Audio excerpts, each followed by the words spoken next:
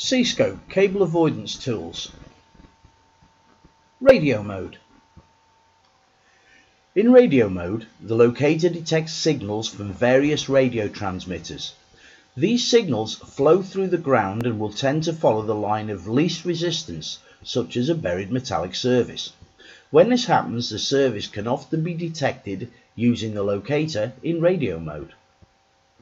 Limitations of radio mode. 1. Not all services will be detectable in radio mode. 2. A strong radio signal present on one service may be masking a weaker radio signal present on an adjacent service. 3. It is not normally possible to determine what the service is in radio mode, only its position. 4. Radio signals do not favour one utility over another. 5. The depth of the buried service cannot be judged by the strength of the radio signal alone. 6. Normally it's only possible to detect radio signals present on services up to 2 meters deep. 7. A short service may not have enough signal to be detected. Radio mode. Using the locator. Using the mode selector switch, select the radio mode. Rotate the sensitivity control fully clockwise. This gives maximum sensitivity. Press and hold the on-off trigger.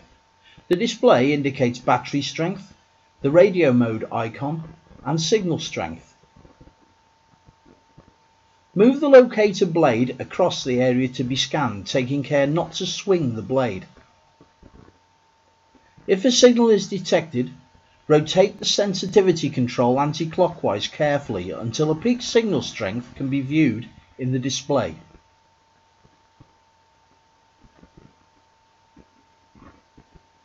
Once a peak signal strength can be accurately pinpointed, it may be possible to rotate the locator blade to detect the null point where the signal disappears. If this is the case, the blade of the locator is now in line with the approximate direction of the service. This is radio mode. For more information, please contact C.Scope International Limited.